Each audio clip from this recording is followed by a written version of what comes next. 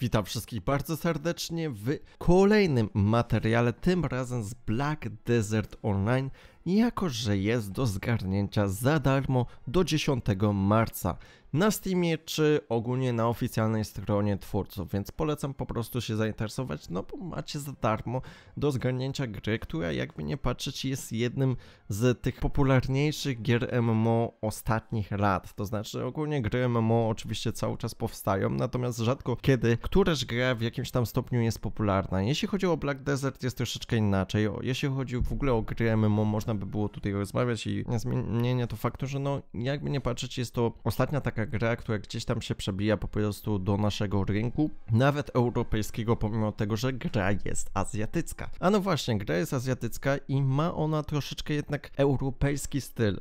Niektóre postacie widać, że nie są tak stuprocentowo azjatyckie. Wgra się to po prostu troszeczkę bardziej jak w europejskiego MMO, a nie azjatyckiego, moim zdaniem. Ale to jest oczywiście moje zdanie. Tak czy siak, o co chodzi w grze, jak to wygląda? Ogólnie gra przede wszystkim cechuje się dwoma rzeczami. To znaczy świetnym kreatorem postaci, który jest naprawdę genialny i można tam tworzyć po prostu kosmiczne rzeczy. To jest jeden z lepszych kreatorów postaci ogólnie w grach MMO, jaki powstał. Tam możecie zmienić dosłownie każdy kąt szczęki i tak dalej. Więc y, jeśli ktoś lubi bawić się takimi rzeczami, no to w tej grze naprawdę jest tego dużo. Niestety jest y, w tej grze gender lock i to jest akurat minus, e, czy innymi słowy, jeśli e, po prostu chcecie grać archerem, no to tak, możecie grać archerem, tylko musicie wybrać tego męskiego archera, albo po prostu wybrać inną klasę, która jest niby archerem też, ale jest to żeńska wersja. To znaczy, e, kiedyś ogólnie ten gender lock był w sobie większy niż teraz, to znaczy kiedyś ogólnie nie było rzeczywiście wyboru pomiędzy innymi płciami, jeśli chodzi o daną klasę. Teraz oni to zrobili tak, że rzeczywiście mamy dwa rodzaje archera, gdzie jedna jest wersja żeńska, druga jest wersja męska. I teraz jest to troszeczkę po prostu mniej, natomiast wciąż są takie postacie, które są unikalne powiedzmy dla danej klasy, czyli na przykład jest y, Mac, który jest tylko i wyłącznie w wersji żeńskiej, nie ma wersji męskiej, chyba że jest tam po prostu jakiś jeszcze inny rodzaj maga, ale to wtedy on gra się nim zupełnie inaczej niż tym makiem żeńskim, więc nie wiem, jest to dosyć dziwne, ale tak to niestety wygląda w tej grze, więc jeśli to wam przeszkadza, to niestety będziecie musieli to przeboleć, ale nie zmienia to faktu, że i tak klas jest tak dużo, że raczej będziecie mieli dość duży wybór i jeśli coś po prostu Was interesuje, to na pewno będziecie ogólnie zadowoleni. Tak czy siak, to jest pierwsza rzecz, która jest dobra w tej grze, czyli kreator postaci. Minusem niestety tutaj jest gender lock, natomiast druga rzecz, która jest największym plusem tej gry i która jest chwalona przez wszystkich, no to jest oczywiście system walki w tej grze, ale też i również grafika, no to jest taka trzecia rzecz, ale grafika, no właśnie, jeśli macie słaby sprzęt, no to prawdopodobnie z Black Desertem będziecie mieli niestety problem i, i to jest, słuchajcie, największy problem oczywiście Black Deserta. Jeśli nie macie dobrego sprzętu, no nie radzę wam grać Black Deserta. Oczywiście tam gdzieś ta optymalizacja była poprawiana, możecie grać gdzieś na bardzo niskich ustawieniach, ale jednak, no, to się jednak najprzyjemniej gra, kiedy macie dobry sprzęt, bo grafika w tej grze jest naprawdę świetna. Nie zmienia to faktu, że jeśli nie macie dobrego sprzętu, to pewnie e, wam nie pójdzie to, albo będziecie grali na jakichś niskich ustawieniach. Więc e, no cóż, musicie przetestować, musicie sprawdzić, no jest za darmo, więc nie ma problemu z sprawdzeniem, tak? Natomiast tak czy siak, e, jeden z największych plusów tej gry to jest oczywiście system walki, który akurat no mi nie odpowiada i to jest właśnie to, dlaczego ja się szczerze mówiąc odbiłem od Black Desert już dawno, dawno temu, kiedy próbowałem tę gierkę i chciałem właśnie powiedzieć e, na temat tego troszeczkę systemu walki, gdyż on mi zbytnio nie leży. To znaczy, w tym systemie walki, no rzeczywiście czuć, y, że to jest, to nie jest taki system walki jak w grach MMO, czyli target system, tylko rzeczywiście mamy tutaj non-target, e, robimy co chcemy, robimy jakieś kombosy i w ogóle e, naprawdę to się gra przyjemnie i bardzo przyjemnie, jeśli chodzi o system walki. Natomiast moim zdaniem największym problemem tym systemem walki jest to, że tutaj wszystko po prostu lata na tym ekranie. Cały czas jakieś miecze wielkie, jakieś coś się świeci, tu przeciwnicy się świecą, tam się coś świeci. Wiecie, to jest tak, tak strasznie dużo na tym ekranie się dzieje po prostu podczas e, walki że mnie to odpycha. Bo ja na przykład atakuję przeciwnika, on się robi jakiś czerwony, potem umiera, robi się niebieski, bo umarł, albo coś w tym rodzaju. No, to strasznie, strasznie jest dla mnie e, dziwne po prostu w tej grze i mi się to kompletnie nie podoba. Bawiłem się, słuchajcie, w ustawieniami i, i też troszeczkę te ustawienia spowodowały, że było tego mniej, bo na przykład może być tego więcej, dajmy na to chociażby kamera trzęsąca się podczas walki, możecie to ustawić, jeśli chcecie, jeśli preferujecie, nie wiem kto szczerze mówiąc by preferował trzęsącą się kamerę podczas walki, ale jest taka opcja w tej grze, więc jeśli lubicie taki efekt, to ok. E, natomiast to jest coś, co też mnie strasznie irytowało kiedyś. Z tego co pamiętam, kiedyś e, było to trudniej zmienić, teraz po prostu od razu się was pytają, czy chcecie mieć e, trzęsącą się kamerę, czy nie podczas walki, więc ja od razu ustawiłem na jak najbardziej się da low, żeby to usunąć i no to powodowało, że rzeczywiście troszeczkę ta walka była lepsza niż kiedyś wspominałem, natomiast nie zmienia to faktu, że tego jest tak dużo, że mi się to po prostu nie podoba. Nie wiem, jakoś to na przykład w Gęsinie jest bardziej przejrzysta ta walka niż tutaj.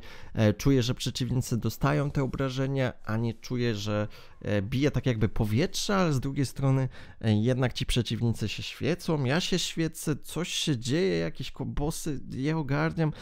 Tutaj największym problemem jest właśnie to, to świecenie, tak? To, to, jest znane, szczerze mówiąc, mam wrażenie w Azji ogólnie, że oni tworzą te MMO, że wszystko się świeci jak się da.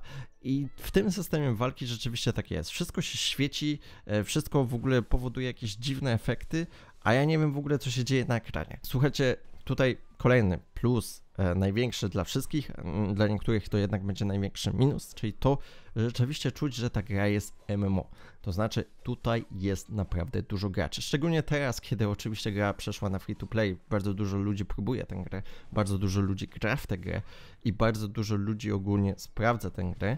I w momencie, kiedy ja odpaliłem tę grę, to pojawiło się przede mną setka po prostu osób, którzy nawalają wszyscy oczywiście to samo, bo oczywiście pierwszy quest idź zabij wilki, więc co robią wszyscy? Zabijają wilki, wszyscy nawalają w te wilki i, i oczywiście wszystko dzieje się napchane na ekranie. Nie lubicie gier MMO, e, takich, w których jest mnóstwo graczy, no to niestety, ale prawdopodobnie ta gra wam się nie spodoba. Natomiast trzeba przyznać, że ta gra jednak z tego co wiem od osób, które grają non-stop tę grę, no to rzeczywiście powoduje to, że takie walki właśnie grupowe są mega fajne. Tutaj rzeczywiście jest ta interakcja z innymi graczami, są jakieś walki gildii, są jakieś walki o tereny też, chociażby i masa innych rzeczy.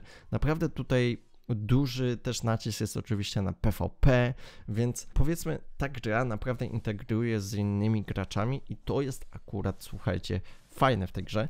Więc jeśli oczywiście takie gry MMO Wam pasują, to jak najbardziej się bierzcie za to MMO. Tak czy siak, mi słuchajcie, gra nawet się zaczęła teraz podobać. Kiedyś e, troszeczkę, tak jak powiedziałem, odbiłem się przez ten system walki, teraz troszeczkę pograłem i nawet ten system walki wydawał się ok.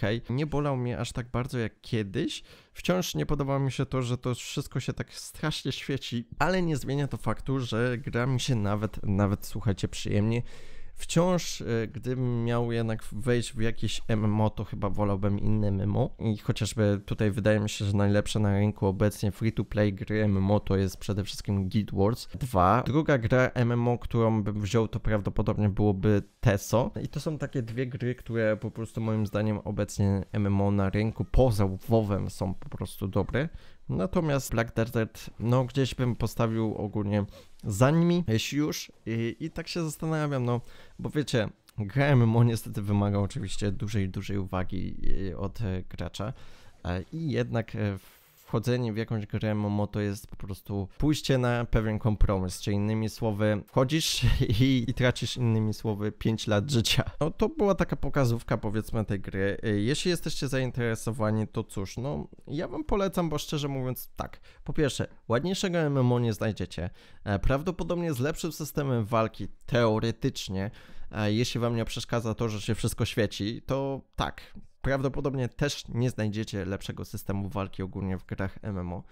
No a poza tym ogólnie, jeśli chodzi o też system tworzenia postaci, też prawdopodobnie nie znajdziecie lepszej gry MMO, więc jakby nie patrzeć, ta gra MMO ma sobie wszystko, co, co potrzebuje moim zdaniem gra MMO, e, bo jest ładna i jest naprawdę ciekawy system walki. A poza tym jest ciekawy system też zarządzania, bo macie, prawda, możecie kupować domy, jakieś miasta też nawet możecie kupować. Potem e, z tego co wiem, chyba można ogólnie jakieś tworzyć szlaki handlowe. Jest, tak, jest to skomplikowane, ale z tego co wiem, jak ludzie ogólnie e, dużo to grają, od osób, którzy już dużo to grają, to naprawdę mówią, że ten system jest naprawdę świetny.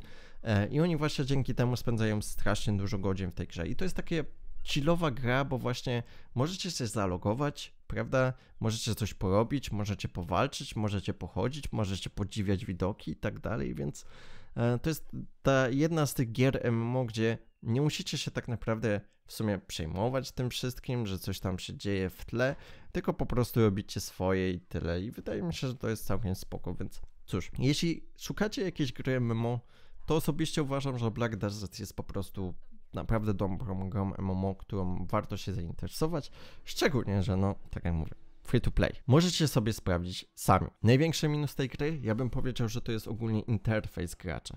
Interfejs gracza jest po prostu okropny, tam jest strasznie tak dużo na tym ekranie i też e, ogólnie nie rozumiem, dlaczego interfejs gracza da się modyfikować dopiero przy siódmym levelu. To jest taki taka głupota. Człowiek wchodzi do gry, ma mnóstwo komunikatów jakichś i do siódmego levela nie jest w stanie nic zrobić. To jest mega dziwne. Natomiast siódmy level i tak łatwo jest wbić, bo wystarczy, że po prostu pozabijecie te pierwsze wilki, kilka.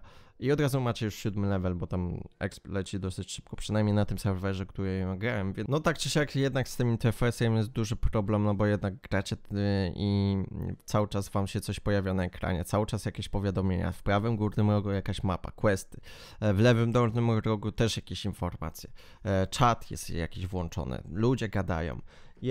Tego jest tak dużo, że po prostu no to powoduje, że odpalacie tę grę i od razu macie ochotę wyjść z niej, bo po prostu tego jest tyle na ekranie, że to po prostu przytłacza. E, natomiast jeśli dacie e, szansę tej grze, dacie chwilę, to rzeczywiście mm, po prostu możecie to wszystko powyłączać, tak wtedy jest troszeczkę łatwiej, e, wtedy to rzeczywiście jest wszystko przejrzyste bardziej.